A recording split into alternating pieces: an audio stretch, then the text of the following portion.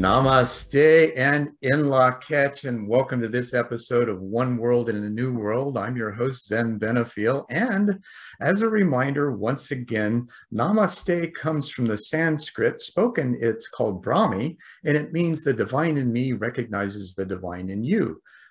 In Lak'ech comes from the other side of the world, the Mayan civilization, and it means I am another you.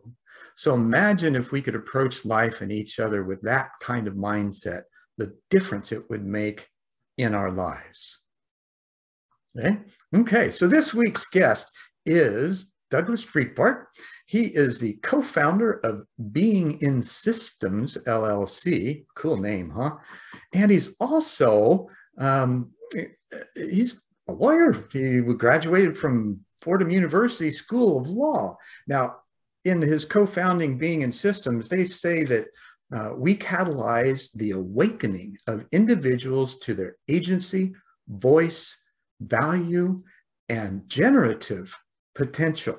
That's key there, generative potential. By catalyzing the awakening, we enable connected individuals in groups, teams, and organizations to realize their greatest vision and contribution of value in service to themselves, each other, their organization, and the world. Doug, such a pleasure to have you here. Namaste. so, you know, you've you've had quite a, a interesting, circuitous path through life, and uh, you know, did you know that when you were young? Did you have any idea of how life was going to be for you? You know, it's sort of a perfect question. I recently um, was introduced to an energy healer. And I hadn't really had experience with, with that modality um, before. Mm-hmm. And, and in one of her, in one of her readings, she said, you know, while she's working, she sort of, you know, throws out questions. And, um, and she looked up at me and she goes, so like, you've known about your sovereignty a long time, right? And and I paused and I thought about that for a second. It's the question you just asked. Mm-hmm. And and I and I realized, yeah, like I didn't know much else. I wasn't connected. I didn't feel much else. I didn't have much else. But there, this one little thing, this one little sort of consciousness of um, I'm here for a reason. I'm here for uh, to make a contribution, to be in service and of value, and I have something to offer. Didn't know what, um, and it wasn't uh, an ego expression. It was uh, just a internal, just a knowing, internal knowing. Yeah, and and and as when she asked it, I was like, "Damn, yeah, yeah, I've known that forever." It's the only thing I've known forever. Everything else, not so much. But I can relate. Now and and and and, and today I can find you know actually like connect the dots what the it was. Well, that's what I would ask. Okay, so so connecting the dots, you know, putting the layers of the onion back on, so to speak. Um, and you might have taken them off from time to time, sure. However, in that process, you how did you incrementally get in touch with what that service might be? Well, I, growing up, um, I was youngest of two siblings, and I was um, sort of the curly red haired stepchild. So I had my nose pressed, uh, pressed against the glass, but I, I, sort of didn't exist. And um, so I sort of, I sleepwalked all the way through most of the first third of my life. So I uh, did things, experienced things, accomplished things that, you know, on paper, in principle, is a pretty rich soup. But my uh, level of emotional connection, non existent. Mm. My level of sort of consciousness, awareness of large swaths of the way the world worked, the way people worked, the way relationships were were blank blank slates. Um, I was I would characterize it as you know a, a contemporary version of a of a Neanderthal, and um, and notwithstanding that, you know, I you know graduated an Ivy League college. I, you know, got a law degree, did graduate work in geography, um, satellite remote sensing data analysis. And um, I saw the world, you know, round one and a half times and um, did a lot and was busy. And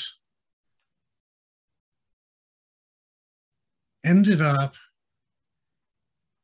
in the entertainment industry, part of past life, um, because it was the only the only business that in which people paid you to pay attention to whatever it was you were putting in front of them. Hmm. And that seemed like a very powerful thing to me. Absolutely.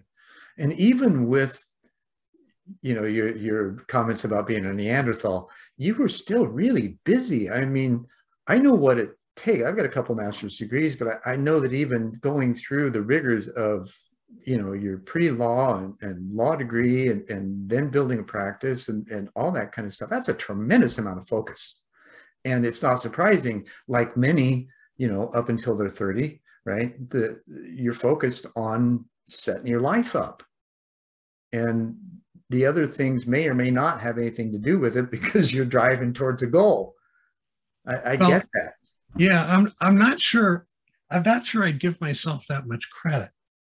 Um, I well then let me give you and, the credit. And, and, and I mean because intentionality and consciousness, you know, I don't know how much of that I actually had. I was, but I was. Um, th- there was a saying my father had in, and he was a psychiatrist, and he said, you know, if you feel like shit and if you're depressed, just stay there and make the most of the time. Like until it lifts, until whatever. Like if you're down, you're down. But you know, put the time it. to don't fight put, it. Put the time to good use. Yeah. And so I in that spirit, in that spirit, I went, I achieved, accomplished whatever happened. And um, so the culmination of all of this was um,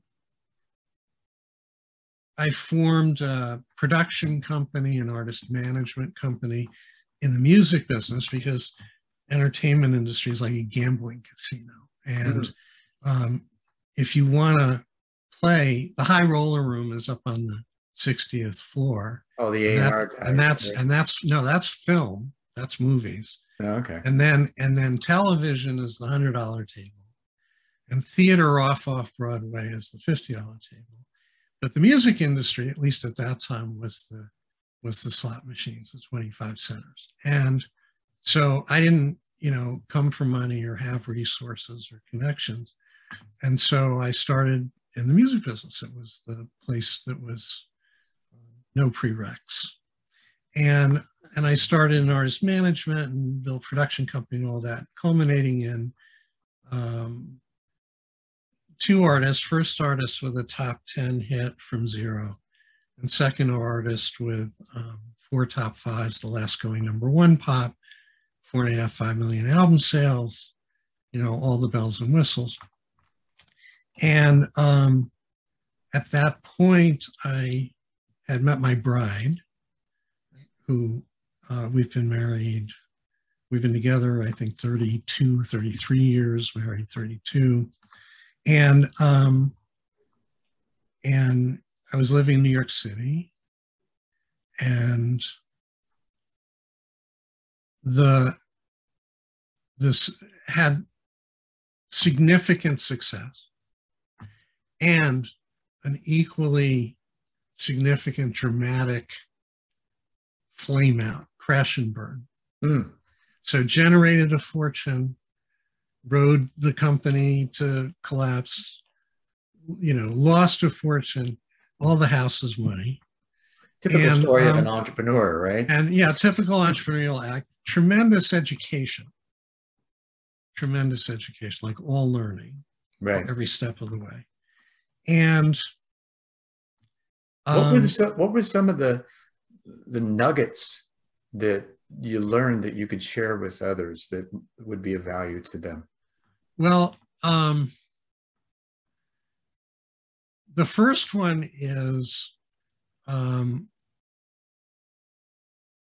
if there's a shiny thing at the center that you want to pursue, don't set up any preconditions or requirements before you pursue it. In other words, just go for it. Go directly. for Do not pass go.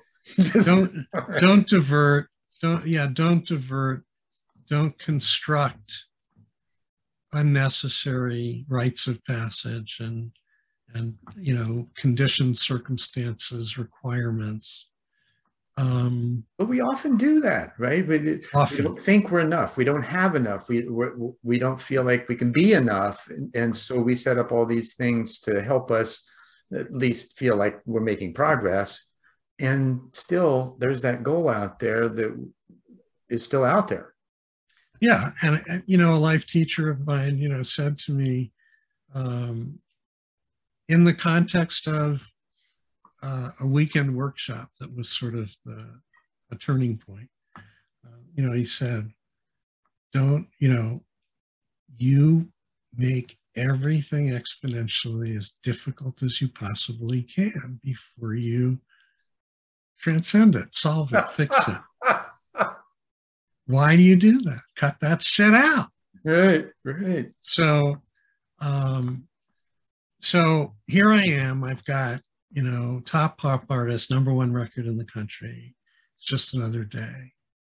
Had no emotional connection to it at all, as an accomplishment, as significant, as meaningful. 26 full-time employees, countries, multiple recording stu- offices all over creation and The life, as far as None of it- would see none, it. yeah. none of it, none of it uh, held any meaning. And um, we had had our, our daughter, and then our son came along. Our daughter was coming up on three, and she started to melt down. We ended up in this parenting workshop held by the local Y because, you know, kids are born, they give you a burp towel and a bottle of formula and tap you on the back. See ya. Yeah, And, right, you know, right, there's no manual. Got no manuals. yeah, And for and sure. uh, we were clear at our daughter's reaction to our son's birth. We were clear we needed some help. So we ended up we ended up in a workshop on um, uh, nonviolent parenting um, uh, that was rooted in concepts of nonviolent parenting, and um, that that I subsequently became certified to teach, but that, that's down the road. So anyway, we the person who one of the instructors of this workshop was a guy who um, threw in an exercise at the end that um, is not that a lot of people are familiar with from weekend personal growth development workshops. Um, it was sort of a variation on one of those where you stood in the center of a circle and the parenting course was not a touchy-feely course. It was not a self-awareness awakening course. It was a practical redirecting children's behavior. Hmm, It was a okay. very analytical. So, um, but he threw this thing in at the end where you stood in the center, and then you would take each parent parent's hands in the course and make eye contact, and they would say to you, "What I love about you is." And you go completely around the circle, and when you were done, they would say to you, when when you were done, you would say what you wanted. That's So pretty powerful. singularly most extraordinarily uncomfortable experience in my life. Oh yeah, yeah. I, I can The level of energy, the level of intimacy, the confrontation with self, all of it, like in one very nice little packed package. And um, and my statement was, I want to feel better. Which could have been at that time, I want to feel. Mhm. right, right. so we were milling around after after the end of the of this workshop and and you know i was talking to him and he said you know there's this weekend and it's a standalone and um, i think you might really appreciate it it could provide the answer to your wanting to feel better Mm. and i you know and i said well you know do you have something i can look at do you have something i can read whatever whatever whatever and he stepped back and he looked me in the eye and he did the you know old, really? the old the Right. old school sales thing about okay so if i'm telling you this is a weekend that could literally change your life um, and you've wanted to feel better for a long time and this is could provide the, the solution to that um, why would you want to wait like why and I, so I, you know, it took me about a second to just process. And I said, okay. Mind you, I only knew him from the workshop, but I knew I trusted his integrity in being in service to Mhm. as a person. No, you and- demonstrated it throughout the workshop. And absolutely. And I, so I filled out the paperwork. The workshop was a week later. And then um, that workshop, which was based on a center out of uh, Westchester, New York, was canceled. Hmm. And so I had to wait um, three months for the next one. And I cooked. He said I could go into this weekend workshop and come out, putting myself on a new life I could solve what was missing, what was in. And I took that literally. And I cooked. Now, I knew nothing about the workshop itself, what was going to go on in it, who was going to be there. I knew nobody else there other than him. A friend of my wife's and I, who uh, had experienced one of these things before, uh, offered to drive me up, um, drop me off in Westchester. And um, it was a real meet your maker weekend. And there was a guided meditation in it. Again, a lot of your viewers probably um, have crossed paths with it, but it was the clear purple bag. And it was a 17 minute, you know, put everything in the bag. Mm. And then the punchline at the end, you know, you are not what's in the bag. You are the person looking at the bag. and um, for me, that insightful, huh? for me that was uh, that was sort of the trigger. And so I, the guided meditation ended, and I was in an altered place, feeling me for the first time fully without anything added, but also fully feeling it in touch with a, um, an I that up until that point, early 30s, I had never experienced. And so I sat there frozen, and there was a break, and everybody in the room went about their business. And there were so 16 students, there were 38 assistants who were people who had been through the weekend before and were there just to support two instructors. You know, it's a lot of people. And there was a exercise, a series of things strung together. Um, and um, you would get up in front of the room and do these things, say these things, you know, go through these exercises that were each touching pieces of the human hmm mechanism and being. and um, and I sat frozen, and everybody went about their business in the break, and then they came back, and the room came to order, and I exhibited what uh, is is known in that particular community as um, uh, burning desire. So any at any time, any one of the students in the room over the course of the weekend, if they feel so moved to get up and do, um, they have that license. And I stood up and I took the floor. And I ran the gamut of this series of things at 100% and sort of blew the roof off the room. Um, and um, the weekend is designed to give people an opportunity to find out where the block is, if there's a block, and then to overcome it and then experience themselves at 100% without it, mm-hmm. experience themselves completely uh, self-realized. Hmm. And kind of lock so, it in. So, uh, so it's it's uh, it's really miraculously powerful transformation oh, stuff. Yeah. And and um, so um, so I ran the sequence up to the last line where I had the room. All I had to do was deliver a line, close the deal, be celebrated, be done. And I stop and I let the whole room's energy go down to zero, which is when he shouts out, Doug, why do you make everything in your life as difficult as humanly possible?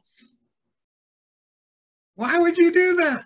This was a done deal. You had them. All you had to do is give them the punchline. Done. Amazing. So I cooked on that you know, for a couple of hours and then got up and cleared it and, and did it. Subsequently, I became an instructor of, the, of that weekend. Um, and, but that was the beginning. I came out of that completely energized, mm-hmm. initiated on a, on a path of awakening, of transformation, of growth, of discovery, of self awareness. And um, and um, my wife uh, and kids came up for graduation. So here they are in a room. You know, everybody's high as a kite because of endorphins. It's a very touchy feely, huggy sure. kind of thing.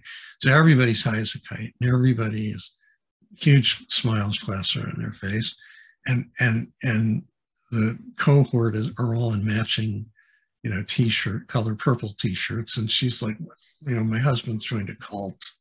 And and the friend who had dropped me off drove her up. And so she understood what was going on, but we all get in the car. And, you know, the um I'm sitting in silence and shock. Oh yeah. Because I'm back. Were, were you shocked or were you just kind of basking?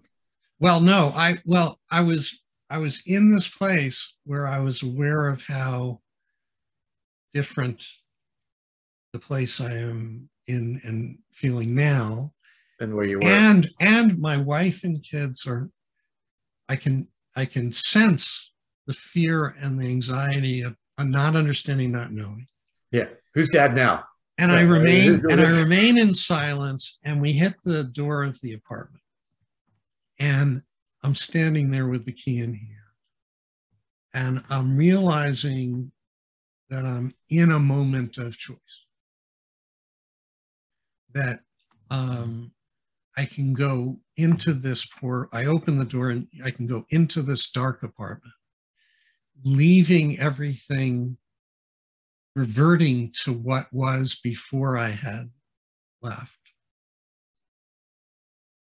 Or transforming everything that was my life going forward. Begin anew. make a decision. Like, what are you going to do? And and I made it. I was six feet off the ground. I made a decision like I'm taking care of business, and I went after my wife to re-seduce her, to reconnect with her, to just level the whole thing back up to engaged and connected at a level that and happy I wasn't capable of before. Yeah. And I went after my kids in the same. And I, 24 hours later, I ended a partnership. I closed an office. I completely terraformed everything. And, and the energy level was high enough that my wife, after two or three days of like being drowned uh, in unconditional love, was like, could I do this weekend? Like, could I? And there was a workshop actually the following week in Michigan at a center, and I was like, absolutely. And so she she flew out to me like just based on the energy, you know, the ancillary energy overflow. Um, so that was sort of uh, my critical leveling up. That's and, an amazing experience, and I know the audience can relate to that one of the things that, that occurred to me during the process when you were talking about going around the room hand, and holding the hands, looking at their eyes, and them giving you your best, basically what they see in you. I had a friend that uh, he was written up in Time Magazine, 71, March of 71 issue, as a prophet of his own time. He helped start the, waterbed industry in late 60s. But he says to me, he had this little thing he called Giftigius and it was a similar process, only it went a little further.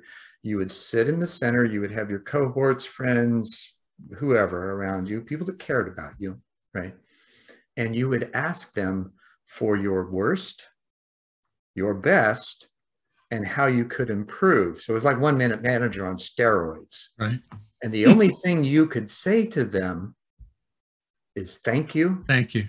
or, or please tell me more.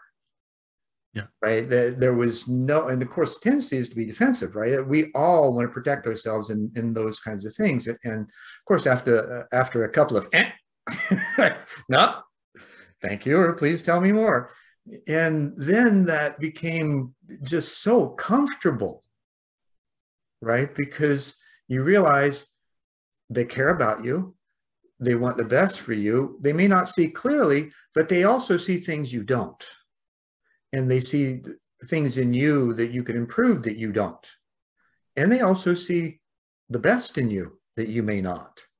And so there's this wonderful amalgamation of offerings that you can choose what to do with because you've got them now. It, it, increases your awareness of those things uh, from the perspective of others and also your own self-awareness. And, and, it's funny, you know, the old adage, the paradox of truth, right? It doesn't matter what anybody else thinks of you, but what you believe about yourself. And then there's also the doesn't matter what you think about yourself, that what others think about you, right? And, and you're always on that fine line of um, balance that in in the world, in doing and being who you are. Or let me let me reframe that: in being and then doing what you do. And the thing that we that I'm sure you you agree on is first finding that being. That's the all important. Until you have that, you love yourself fully. You can't do it. You're worthless for anybody else. I mean, you you can do things right, but they're usually rote actions. They're not authentic. But when you're in place of being, everything's authentic, and people can feel it like you know they saw Absolutely. the difference in you and, and how you behaved how you interacted and the love that you demonstrated that they may not have known was even in you yet and then here it is and it's like oh what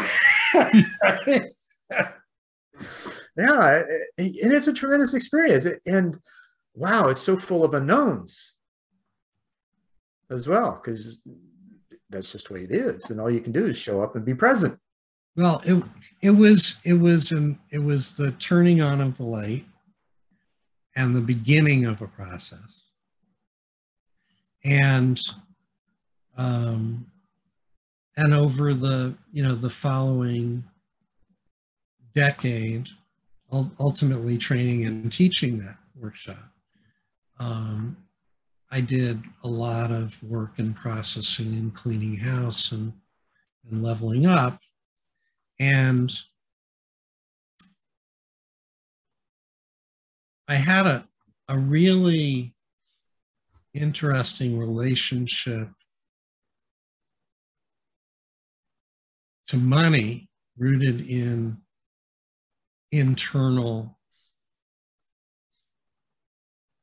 awareness or carry of fears about self-worth and fears about value and all of that. And it was a major piece of the puzzle. It was the, the 3,000 pound gorilla piece of the puzzle to lick, mm. to handle. And how, how did you do that? What, what, what was the core of your previous, let's say, belief system? Uh, well, and, the, and how did that transform? Well, in, in you know, in the course of the sort of all of those dimensions of learning with readings and um, coming into contact with different modalities and, and types of work and self-discovery and development and evolution and um, and I had a convergence of, things that were, were exhibited in a pattern. And the pattern was that in work, after the, the company crashed, um, I shifted into a mix of lawyering, of consulting in corporate context and entrepreneurial work with startups and early stage companies, um, I've never been a fighter as a lawyer. I, I've never done litigation. I've never been in the courtroom. I only do building things, transactional things, helping people create. Mm-hmm. Um, and so, in the course of all of that, I would take us to really horrible, tight, crunchy financial edge of disaster times. Um, and then pull one thing or another out of a hat and live to fight another day and stabilize. And in conjunction with those, um, those crash points, my back became a issue, became a, a big issue. Right. So the first time was a herniated disc back surgery. But by, by the time I hit the hospital, I was wheelchair bound. I literally couldn't walk. It was I was compressing the spinal cord. Well, they do say when you don't feel supported by the universe that, that you're you feel oh, it in your lower back. It, one is reflect one is reflective of the other. Yeah. Absolutely. So so back surgery, hundred percent recovery into the into the cycle. Next one, two years later, back, back surgery, 100% successful, into the cycle. Into so four four cycles, four back surgeries, each one effective. After the fourth one, within two weeks, back problem. Except this time, I'm on two different painkillers every four hours, 24 7 for a month. And there's nothing to operate on. We're at the end of the old paradigm road. Mm. And contemporaneous with that, somebody brings me a book by a guy named Sarno called Healing Back Pain.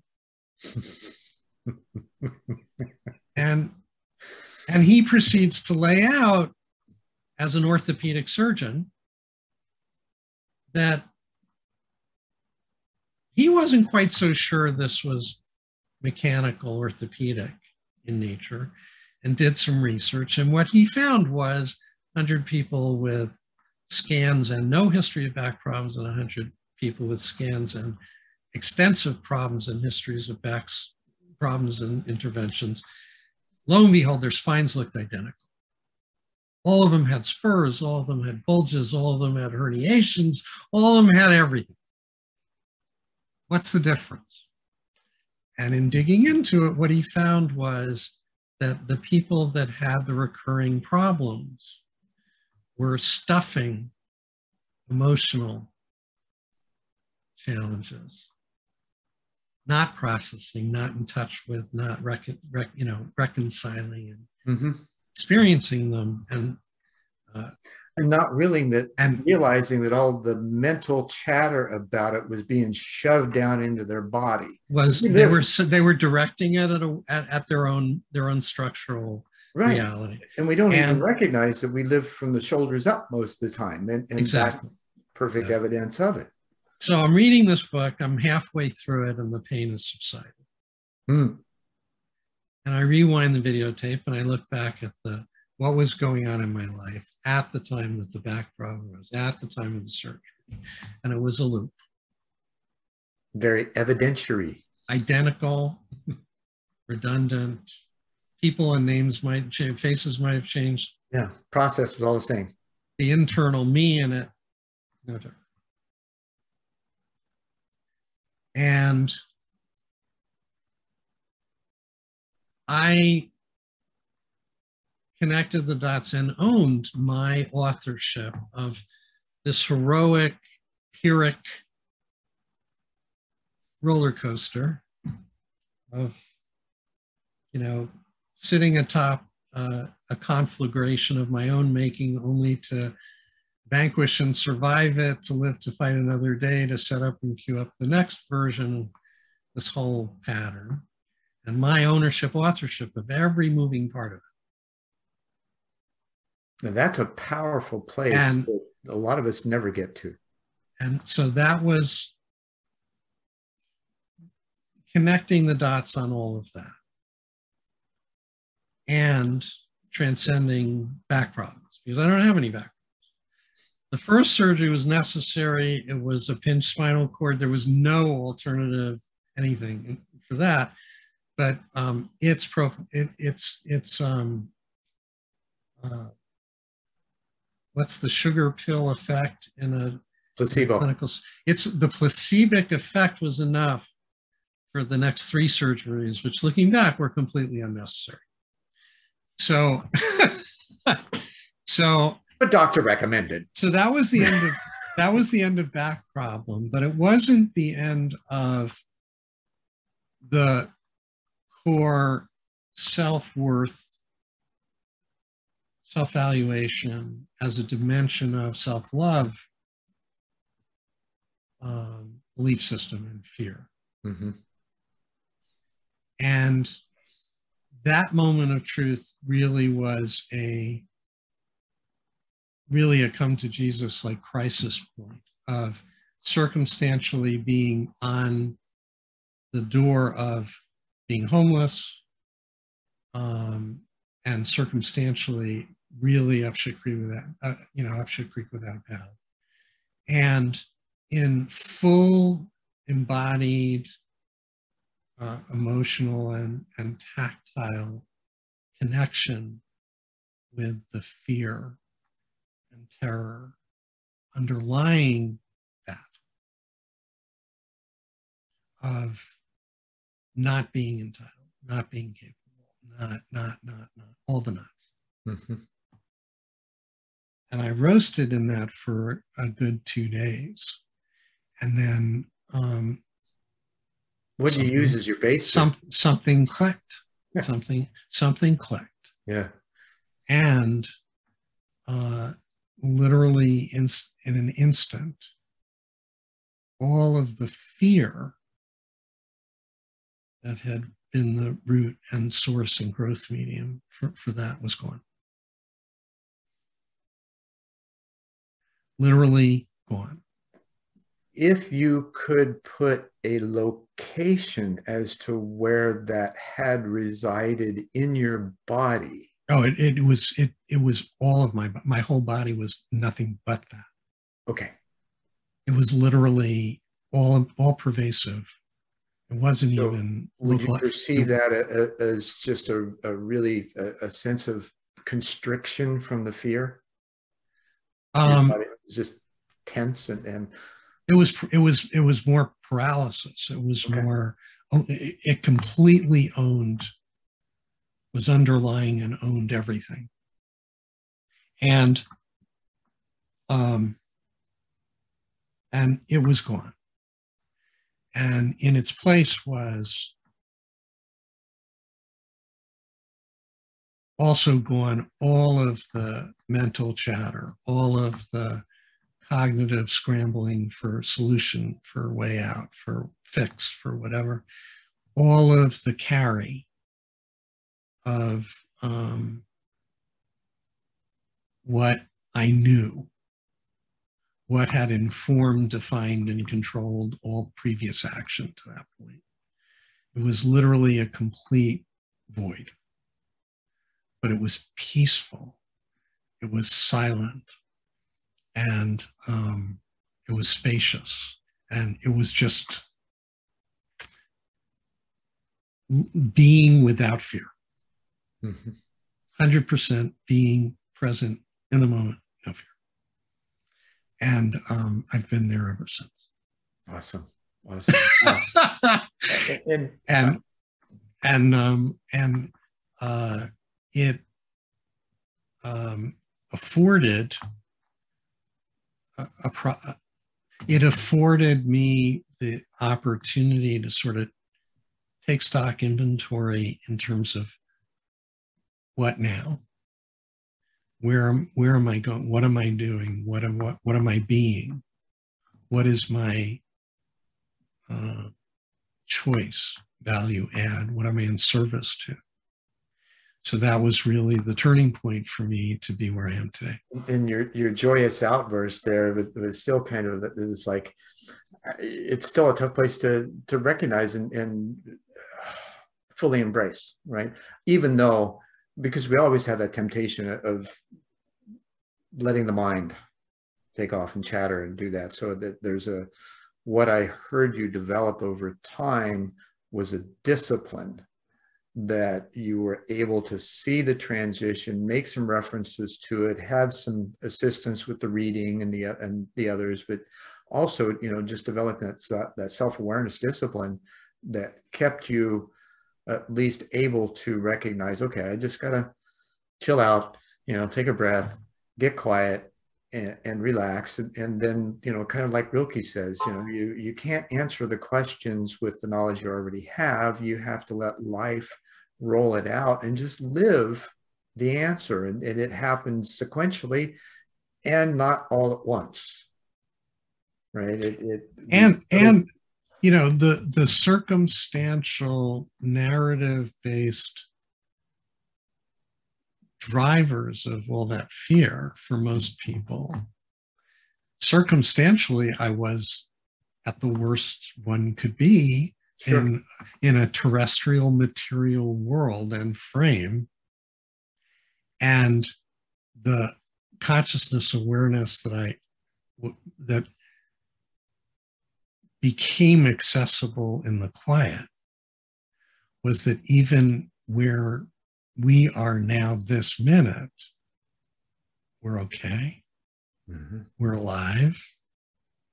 No danger. No danger. And lo and behold, we didn't end up on the street. You know, we ended up with some friends and we navigated and put the pieces together and, you know, and that, you know, the the other fundamental piece was, um, and it was sort of like back at that apartment door, right? So, do I believe the world is fundamentally, the universe is abundant? Or do I believe it's filled with scarcity and threat and danger? Which wolf do I want to feed? And in that moment, the, the commitment, the decision was it's an abundant universe. I'm going to feed the white wolf.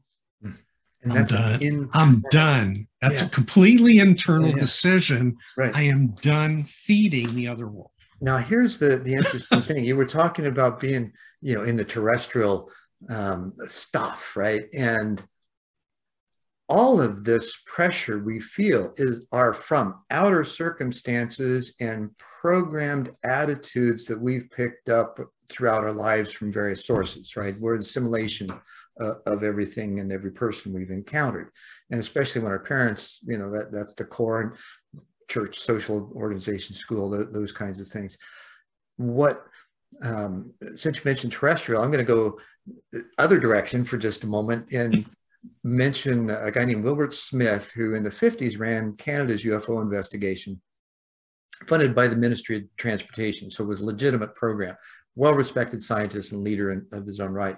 Well, he kept memoirs over his period because he had actual conversations with what he called people from elsewhere. And of course, they would drop these tasty tidbits here and there, and, and he included them in his memoirs never published them. They weren't published till two years after his death. And of course, incomplete, but still, they're there. And, and they happened to fall in my lap this just this last year. And I'm reading them. I've got all these thoughts and images and all just racing through my head as I'm reading these memoirs. And one of the things that they said to him is, We live half inside and half outside. So we've been paying attention to all the outside and neglected the inside. And then that guy you mentioned earlier, that come to Jesus moment, he even said, make the without as the within. And so there's this concept of going within. We've heard this in mindfulness and all the workshops and seminars, you know, and wondered, I, I guess, I did for a long time, maybe you did too, what's the practical and pragmatic applications of this in, in our work in the outer world? And how can we turn this inside into a wonderful experience outside? How did you find that and, and what did you do with it? Well that that sort of was a logical outgrowth of getting to this place of realization and recognition of the abundance as a as a real operating condition of reality mm-hmm. and um, I connect, ended up connecting with a colleague, Fabian Zulansky of mine in Argentina. And he and I sort of connected through a, another venture that somebody was floating at the time. And, um, and that sort of went away, but we persisted in the connection that we had. And we both said, okay, so here's this world headed toward a global extinction. Let's like check check off number six, and the Earth resets and starts all over again. Um, and all of it is by our hand. So we have created everything that's outside our window, the good, the bad, and the ugly. So now I would offer just another consideration of that that that doesn't often get, get thrown into the cauldron uh, and that is that the, and we've known this for decades, that the poles are shifting. And that simple planetary action, you know, as a result, you've got one side of the polar ice cap that's melting and one side that's reforming. Um, weather changes and all that kind of stuff. And, and yes, we have had a major contribution in the pollution factor uh, that we are responsible for but a lot of the weather changes aren't necessarily up uh, because of us for that simple reason. Now we can, you know, humans want to take responsibility for everything, right? And, and we're so pompous that, you know, we were told we had dominion over the earth. Well, we didn't realize that meant stewardship, right? So we back again to the harmony with self, others, and, and nature. Um, so this kind of, of attitude along with okay what can we do to assist which i think is where you were you were headed and i, I didn't want to necessarily interrupt you i, I just wanted to put a, another layer of understood on top of that okay yeah i i it's it's less of a you know responsible whole whole and soul responsibility for but a very large part of environmental destruction, deterioration, um, well, we polluted adverse impact, adverse impacts on our on our yeah. species and other living things on the planet. Um, Certainly, the part that we are responsible for is significant, and, and we failed miserably and in our we and it's it's been by our hand. So the Yeah, yeah. the the seed question was, since you can't fix it with the same thinking that it was created with, what is us doing us differently actually mean? What does that look like? Well, you mentioned the other day when we had a conversation that you know we were talking about structure and organizations, getting people to work together more effectively, and you had mentioned you know that's really an industrial mind, industrial age mindset, and I have to agree. I you know that that kind of caught me, and I paused and was like, you know, you're right. Um, that doesn't exclude another kind of natural hierarchy that might exist, but it certainly puts the um, silos with male with alpha males at the top competing with each other front and center right and even i noticed with organizations that even those organizations that are coming together to do good work it, they're still silos. They're not they're not talking to each other. They're internally afflicted as well. right. So how what can how can we do and what So what might we be able to do to circumvent that or, or to create something that inspires those to become horizontal instead? So there are there are some principles that have emerged out of the last um, five to seven years of field work and how do people co-create together and how do things get transformed. And some of the fa- the fundamental principles for true transformation are that the transformation has to be the fruits of the loin of the people within the organization that is seeking to transform. They have to create their own transformation process, transformation, center orientation, values. right now do you find And- that uh, I totally agree with you. There's a document that came out in 2010 called the ISO 26000 Social Responsibility Standards, ratified by the 92 countries, and it's gone virtually unnoticed. Is that something that, of value? Because it is they they're intentional. You know, beyond the, the ISO group has all these standards, ISO 9000 series being one of them, that corporations pay major dollars to get certified for, and they can't get government or aerospace contracts unless they are right? So that's one aspect of it, and, and it's all, for lack of better, data driven, right? The ISO 26000, on the other hand, are purely intentional, and it can just be by the gesture of the organization as to what they intend and how they operate in the community. It also seems that given that document that the grassroots effort could be initiated using that document to kind of push it on up the ladder. Uh, do you So- find that that's one of the things that, that's in play, or, or is it not? So, explicitly,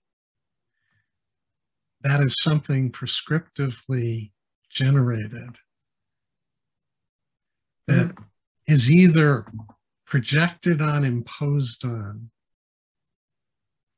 or given to the people within. And because of the behavior pattern and imprinting, by definition, since it comes from outside, it is a continuation of the industrial model. It's a projection of power, control, authority over, even if Well, in its its 'cause it comes wording, in its wording, in its wording Yeah. and expression, it may be the most wonderful aspirational values laden thing.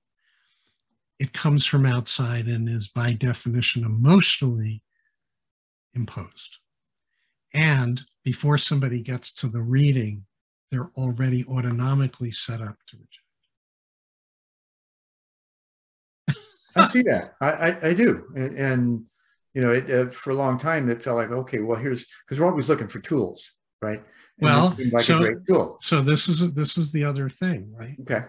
So first, whatever the it is has to be generated by the people within. Otherwise, you don't get the buy-in. That's a process of catalyzing that, not leading it, not facilitating it. All of those things are contaminated, affected by mm-hmm. the industrial paradigm projection power control theory. Now, is this similar to the flatline organizational structures that Dee Hock tried to work with? Well, you know, the the new self uh, self-leading, self-governing, flat, you know, innovations like holacracy and sociocracy and variations on the theme that are are aspiring to escape the gravity of that industrial frame. Mm-hmm. Um, can't. And the reason is one, in most contexts, at the beginning at least, they are projected and imposed on when they're implemented. Mm-hmm. And secondly, they're missing the key ingredient and secret sauce that is required for any true transformative reality to take root, which I'm is going to take a leap and say both that inspiration. Both of them explicitly say we don't deal with the human being dimensions. We deal mm. with we deal with decision making. Mm-hmm. We deal with allocation of authority, but we don't deal with the people dimensions. Well, an organization is comprised of human beings. Yeah, it doesn't matter what the product service is. It's and the and, and the right? the industrial the the Taylor dystopic projected industrial model doesn't deal with the people dimensions either. Mm-mm. People are units of production. They are cost centers and generators of value that all feeds to a bottom line of efficiency and profitability. Blah, blah, blah, and there's often the command so, and control structure so in it. All organizations want, you beat people up to get it. And, all and organizations today are fundamentally missing the human being dimension mm-hmm. in the co-creative process.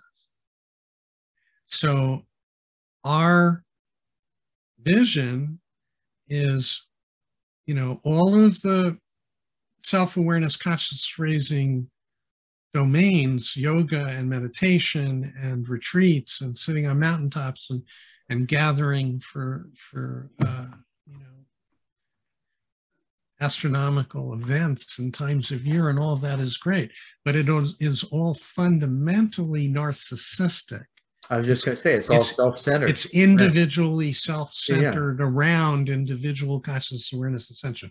Yeah. Uh, my interest is consciousness awareness and integration of the being part of human beings as co-creators in the generative process. Right. And not as an add-on, but as a reintegration with humans doing. Sure. So it's humans. I, I have humans being while doing, and that materially informing how they're doing, what they're doing, and, and consciousness and awareness of the felt sense dimensions and realities and energy flows. Right. By in between. the um, it's not even on the plate today in most organizations. no, it isn't. And one of the things that, that I enjoy is I have a similar thing, as you know, um, the the value of the combination of transformational life coaching skills and uh, partnering team building skills where you're i'm in a, a, room with construction guys from the contractor subs utilities uh, you know it could be 20 could be 80 guys depending on on the size of the project and gals of course. And there's this process of establishing first the the principles of partnering uh, commitment, integrity, communication, and trust, and then building that into a code of ethics, which they determine what and how they are going to engage each other, how they're going to behave, right, with each other. So they set the standards. And then we talk about the goals and objectives and turn the objectives into metrics to where they can manage flow. and because it's not a, a detail oriented, it, it's how the flow of the project's going. And then we break out in the issue resolution phase, which is okay, let's just kind of like a Dale Carnegie thing. You throw it all up on the board, you talk about each thing, throw it on board first, you don't try to solve it. And then you go through each one, determine whether it's a talking point, an FYI, or there's actually an issue that's going to need to be taken care of. And then you develop a plan for it. Because in a construction project, they're two to five years long right? And so there's all this contiguous activity going on that if any one of those pieces gets out of line and causes job stoppage, that's 10s of hundreds of thousands of dollars a day. So the meticulous aspect of being able to bring that being into the room in the moment, talk freely and openly, and for me, as the facilitator, to be able to read all the micro expressions to understand what's not being said and then bring that up to the table, because those are the job stoppers. Correct. Correct. And it's for me, I was mm. tremendously intimidated to begin with. It was like, yeah, I'm mm. going to do this. And I got in the middle and it's like, oh shit, you know. It, and then over time, it's like, all right, just stay in center, be be available, be receptive, listen well, ask the right questions and then you can lead the discussion to whatever answer needs to be because you don't have uh, an agenda as to what answer you're going to get to. Only that you're working to build a, an award-winning project on time under budget with no injuries. Other than right? So and, and I, i'm from a you know reading about your work and the things you do you're doing the same thing with organizations. So, what do you find are some salient points uh, uh, of order in that process that can work for others? Because these kinds of things work not only for personal lives and, and self development, they work for getting people, places, and things to work together better. So, how, what have you found are, are the significant, again, what are the nuggets that, that you've found that work best? Well, first of all, we're we're purists. And what I mean by that is in being in systems, um, we're selling being. We're not coming in under one of the post office box standard consulting offerings, you know, Six Sigma or or Agile or mm-hmm. Holacracy, Sociocracy or Theory U or or or or. It's not anything productized. It's not in noun land. This is a verb offering. It's like uh, the God participle, huh? Correct. Being. Correct. Right. Okay. Correct. And the ing is the operative idea. Right. So First of all, it is a transformative piece of the puzzle out of the box in somebody retaining us. In order for them to hire us.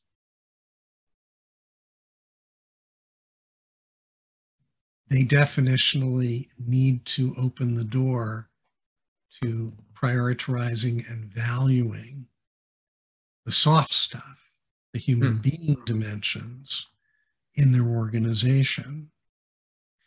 If they do not recognize that as non discretionary priority, this isn't a let's try this. This isn't a we'll run this one up the flagpole for the next two years until the next CEO musical chair carousel when it goes away and he comes in and cuts out all of that. And then the guy after him comes in and reinstitutes all of this teal stuff and whatever. What it's not in that category. We don't live in that space. Bit different. So as a threshold matter, you sort of have to understand what we're saying to hire us. Mm-hmm if you're not quite clear on that, we're not the people for you. now, fortunately, courtesy of COVID, the gift that keeps giving, the cold reboot to the industrial world. Right. The we set. The C suite globally is in abject fear and terror ever since it hit and remains so, notwithstanding the apparent quote recovery. They're in fear and terror because they're seeing things they've never experienced. They're facing challenges they've never had before in the human dimensions of their businesses, right. their staff, their retention, their management, their every aspect, getting people back into cubicles, like, eh, and the insanity of even doing that. So and everything companies that are requiring vaccinations and, and employees are going, uh-uh. Everything, everything they had before and did before is gone. Mm-hmm. The world is today, it's in the present, and you can't fix what ails today with industrial business centered stuff right. or magic solutions or magic magic solutions in a box or sure. programmatic cures um, that are branded and people are being trained to quote bring. It's like, like you have to ask uh, or learn how to ask questions you know don't have answers yet but the and yet they still need to be asked because they're clear and present and necessary. Yeah. And you, and you also from a quote leadership standpoint need to recognize that um, you may not be able to do that the way you were doing it. anymore may that's not. the truth that's the may truth not. that's the truth of it Oh, absolutely. The truth of it is that the old hierarchical and projection of power control authority over is really not suitable, appropriate, or applicable to the world we live in now. Mm-hmm. It might have been in the industrial age, but in, in the new millennium, uh, it's a whole different story simply because now, it, and we've talked a little before on, on the cosmological things, New Year shifting and all, all that kind of stuff. That's just one aspect of it. However, there's an evolutionary process going on in humanity that is kind of a, it's been happening. However, it's ever more present with this change of behavior globally and the, the difference in, in how people are rising up. The masses are awakening you know, all this stuff was kind of foretold. Age of Awakening, Age of Awareness, um, uh, Golden Age. Uh, we're there. We're here. Like we are. It, it's happening before our eyes. So they've got to learn new tricks, and we're in the catalyst business. We're not selling anything. Mm-hmm. And and the, the, of course the the learning new tricks. It's not really.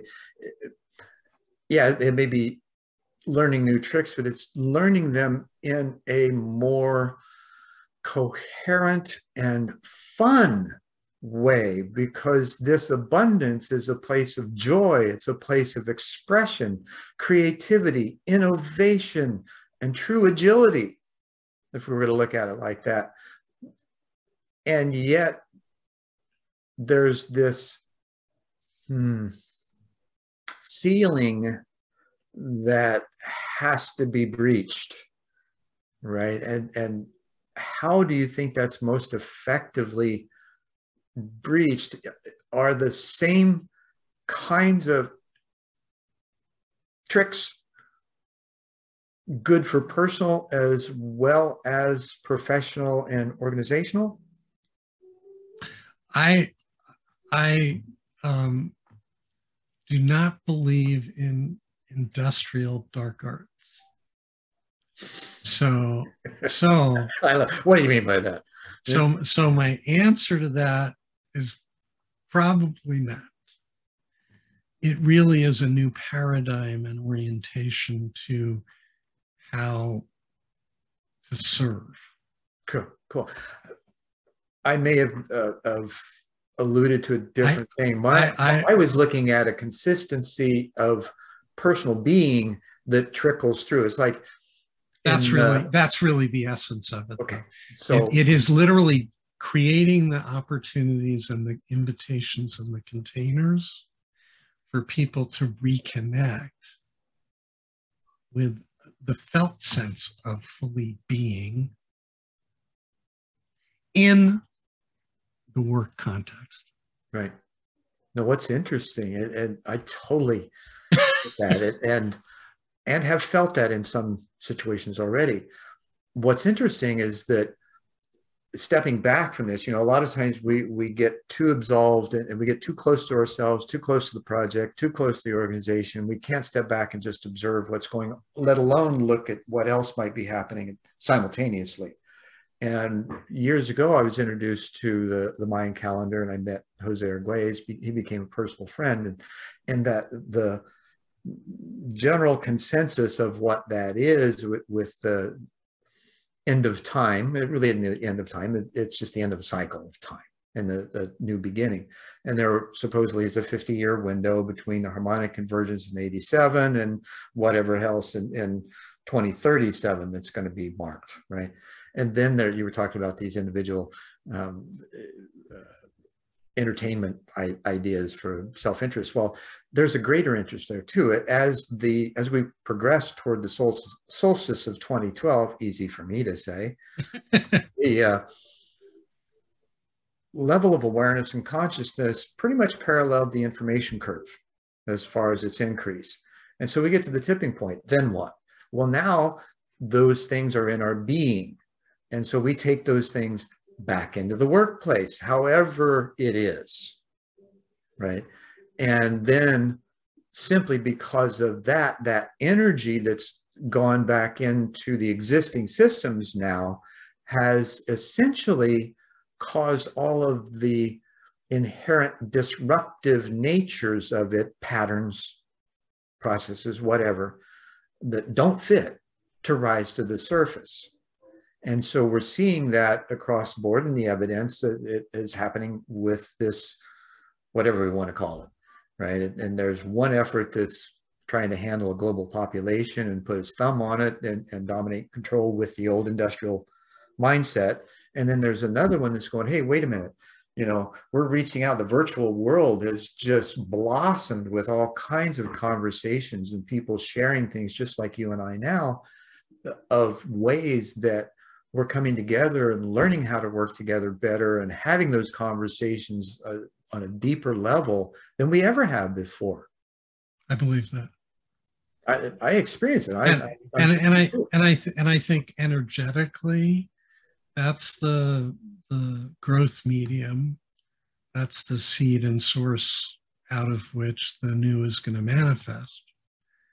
And um, I've just been a little bit preoccupied and focused on, from a BIS perspective, um, the large multinational, because they're, if they're, if we're successful in transforming one of them through our processes in catalyzing their own internal transformation, they're in the most powerful position to change course to stop doing what they shouldn't continue to do, to transform and evolve what needs to be done and what needs to meet needs, and to really turn the. the, and then you, of course, then you've got the empirical data. And if one does it, the rest follow because right. it actually it actually maps to profit. It actually, on a regenerative basis, generates more value maybe not just constrained to fiat currency, mm-hmm. which is dying as well. It's mm-hmm. going away in the face of the emergence of the crypto world. Mm-hmm. Um, but in the propagation and generation of value, not from extractive and destructive processes. Well, and it really makes sense to come at things like you're doing from the top down, because uh, we all know the world's corporate controlled currently, even our political systems, uh, it's not, you know, it's not being, the people aren't being served. No. In other words, what, what they're being served up. yes. Right. Yeah. So uh, we need a better dinner. We, we need a better menu and, and better chefs, right? And and so you and I both like to cook. So you know, this is kind of what we're doing and, and spinning Absolutely. around this and, and having fun with it. And just the joy of the conversation of two of us that happen to uh, feel similarly. You know, we might describe it a little differently because we've got our different dictionaries from our backgrounds, but the we've been able to kind of say, oh yeah, we're we're right there. We're on on the same page, maybe even in the same paragraph, and we're working to be in the same sentence. Well, we're, we're I, th- I think it comes down to from source and to source and recognizing we are not source. Correct. Like not, be, not being confused. Right, right. well, you know, I, I put together, and, and, it can be very confusing. You know, there's a lot of people say, well, you know, I am a, uh, the creator of my entire. Well, yeah, to some degree, but it's co-creation. Uh, let, let's get you know, no man is an island to himself. We've known that forever, and yet there's this uh, in a quantum physics level, right? There's the that point. Uh, sort of quantum physics, and this may be fringe science, but there's a point of light, the center of our being, that travel that bounces back and forth between here and the great light. And as we develop our awareness of the multidimensional aspects of that and the being, that sensation enters in and it permeates to people around us. And depending on how present we can be, that, uh, that sense of feeling or that sense of energy from us can be 30, 40, 50, 100 feet in diameter and more. I've seen it. You know, you walk into a perfect example. You walk into a room, you're present, all of a sudden you catch somebody's eye, right? And it's big room, hundreds of people, and boom. So, do we explore that? There's obviously a connection because they felt you, you felt them. So, why not explore that resonance that the two of you just experienced in that moment?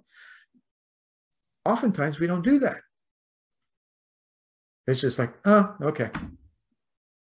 Now, I learned, I don't know, a couple decades, decades ago, maybe, that those are the moments of like, okay, I got to go find out why that just happened. What's going on?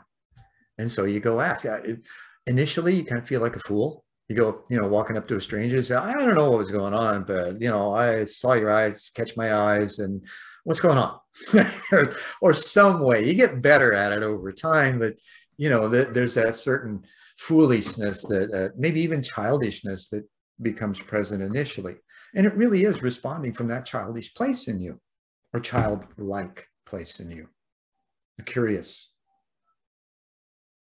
How would you, uh, uh, how do you experience those kinds of things, first of all? Well, the, the best um, sort of analog that I can share um, from workshops that I've taught and there'll be a student who's sharing their their source trauma, their shadows.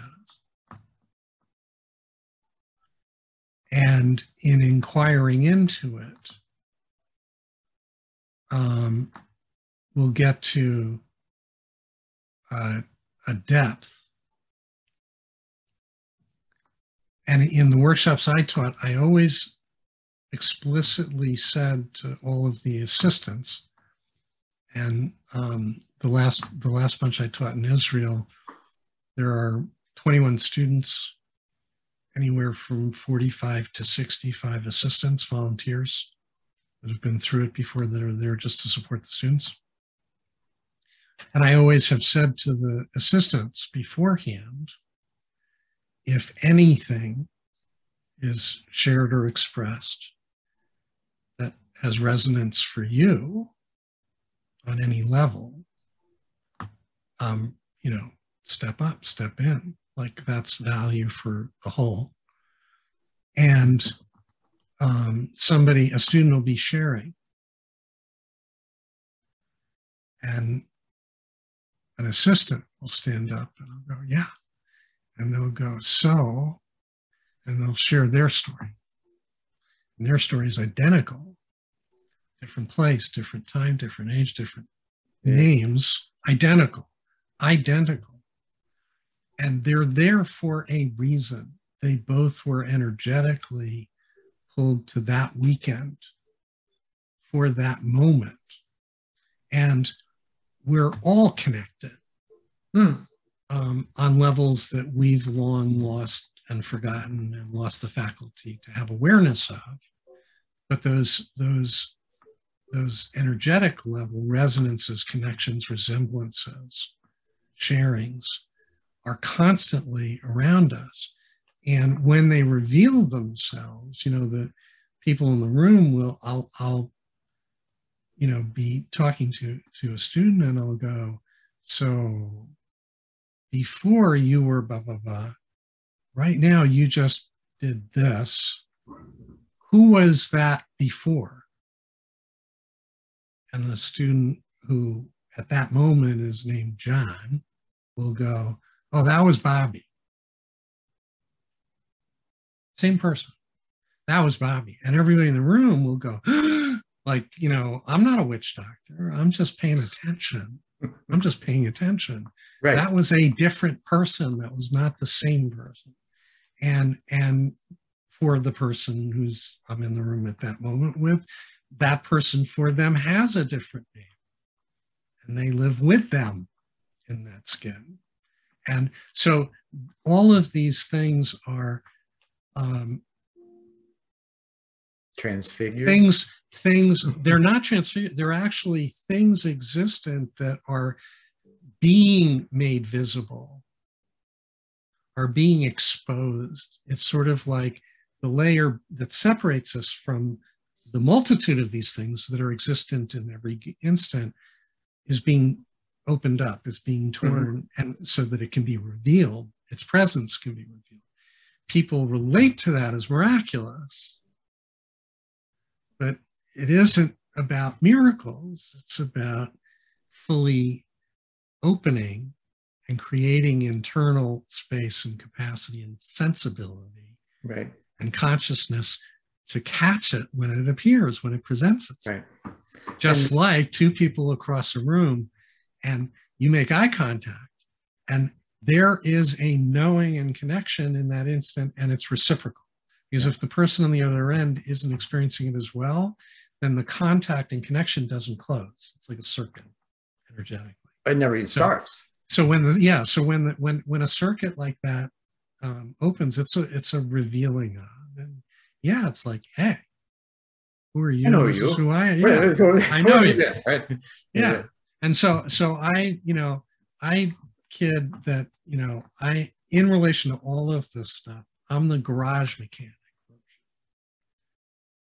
So i i don't bring a whole lot of i don't have a lot of i've done some learning along the way but i don't have any practiced or schooled sophistication in, in buddhist traditions in indian traditions in Egyptian Middle Eastern traditions and Western religions. I don't have a lot of the sort of more mystical and, and alchemical uh, stuff in my quiver. Um, I'm, I'm really immediate, present moment, like what is, um, what, what, but what am I sensing? What am I feeling? What am I seeing? What's being shared? And what am I responding with? it's a very, very like, how fundamental can I get? how simple can I make it? yeah, with an, with an emphasis on fun. Oh yeah, and, well, it's joy, all mental joy. Yeah, absolutely, absolutely, with joy and appreciation and gratitude and